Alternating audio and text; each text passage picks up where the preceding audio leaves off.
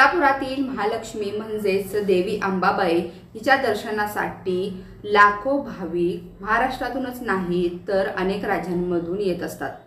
साडेतीन शक्तिपीठांपैकी एक पूर्णपीठ असलेलं असं हे महालक्ष्मी देवी. या देवीची दंतकथा आणि याचा इतिहास तो मी आज तुम्हाला सांगणार आहे. तो इतिहास आणि ती दंतकथा तुम्हाला कशी वाटली हे मला कमेंटमध्ये नक्की सांगा. भारतात एकूण एक्कावन्न शक्तिपीठे आहेत.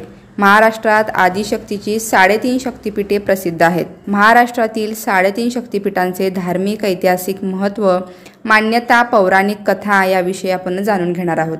देवीच्या निरनिराळ्या भव्य आणि तितक्या सुंदर प्रतिमांचे दर्शन घडते. साडेतीन शक्तिपीठे म्हणजेच ओंकाराचे सगुण रूप आहे. अ अ कारपीठ माहूर उकारपीठ तुळजापूर म कारपीठ कोल्हापूर आणि ऊर्ध्व माता सप्तशृंगी. सप्तशृंग निवासनी देवीच्या मूळ ठिकाणाचे दर्शन सर्वांना होत नाही म्हणून अर्धपीठ. आदिशक्तीचे स्वरूप अत्यंत विराट विश्वाकार आहे. आदिशक्ती नाना प्रकारच्या प्रतिकांतून प्रकट होते. आदिशक्तीची काश्मीर कांची व कामाख्याशी तीन पिठे आहेत. यांना शक्तिपूजेची तीन मुख्य केंद्रे मानली जातात. या प्रमुख तीन पीठांचा व शक्ती केंद्राचा ज्यात समावेश केला जातो अशी एकूण एक्कावन्न शक्तीपीठे भारतात आहेत. महाराष्ट्रातील साडेतीन शक्तीपीठांचे धार्मिक ऐतिहासिक महत्त्व मान्यता पौराणिक कथा याविषयी आपण जाणून घेणार आहोत. कोल्हापुराचे महालक्ष्मी मंदिर हे पुरातन उल्लेखलेल्या एकशे आठ पीठांपैकी व महाराष्ट्रात असलेल्या साडेतीन पीठांपैकी एक आहे. महालक्ष्मीचे देवालय कोणी बांधले याबाबतचे संशोधन परिपूर्ण नाही. हे देवालय शिलाहारापूर्वी करहारक येथील सिंधवंशी राजाने बांधले असावे असे काही संशोधक म्हणतात. कोल्हापूरचे शिलाहार देवीचे निस्सिम भक्त होते. आपणास देवीचा वरप्रसाद मिळाल्याचे त्यांनी अनेक लेखात लिहून ठेवले आहे. सातव्या शतकात चालुक्य राजवटीत राजा कर्णदेव याने हे देवालय बांधल्याचे उल्लेखही काही ठिकाणी आढळते. श्री महालक्ष्मी मूर्ती दगडी चौतऱ्यावर उभी करण्यात आली आहे. मंदिरात घाटी दरवाजा गरुड मंडप अशी सुंदर नक्षीकाम केलेली ठिकाणे आहेत. गरुड मंडप सभामंडप अठराशे चव्वेचाळीस ते अठराशे सदुसष्टच्या दरम्यान बांधण्यात आला. अश्विन नवरात्रात महालक्ष्मीची चांदीची प्रतिमा त्या ठिकाणी तयार करण्यात आलेल्या दगडी चौथऱ्यावर ठेवून ती पूजा करतात. रेणुका देवी माहूर हे देवीच्या साडेतीन शक्तिपीठांपैकी एक असून येथील पीठाची देवता रेणुका देवी आहे. रेणुका देवी तसेच दत्तात्रय आणि परशुराम यांच्या यांची देखील प्राचीन मंदिरे माहूर गडावर आहेत. साडेतीन शक्तिपीठांपैकी हे एक मूळ जागृत पीठ होय. परशुरामांची माता म्हणून रेणुका मातेला ओळखले जाते. देवीचे मंदिर तेराव्या शतकात देवगिरीच्या यादवकालीन राजाने बांधले आहे. माहूरच्या गडापासून जवळच रामगड हा किल्ला असून काही कोरीव कामे केलेल्या गुहा आहेत.